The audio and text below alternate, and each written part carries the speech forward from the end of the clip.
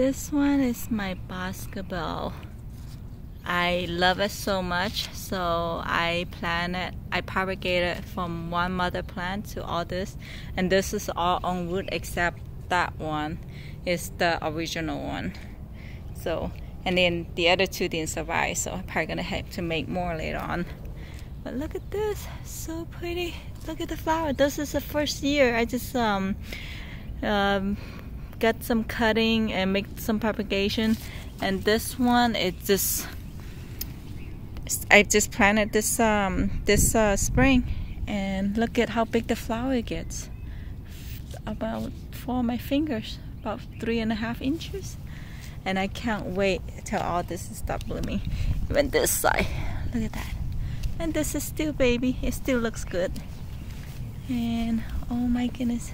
I can't wait for them to take off and I think next year gonna be very pretty when it got more mature.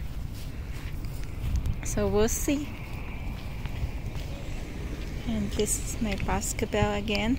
And it's a small shrub. And this is the original one. It really flower a lot already.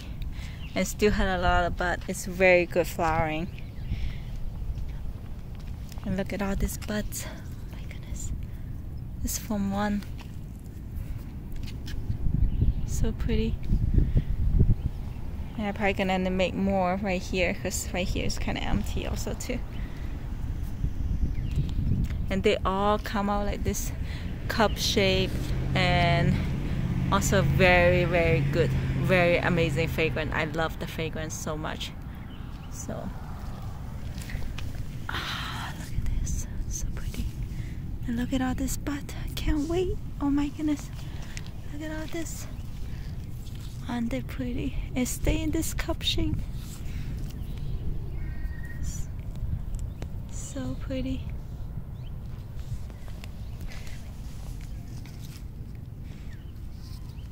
And the size it goes about um, 5 by 5 I think. Or 4 by 4 I don't remember.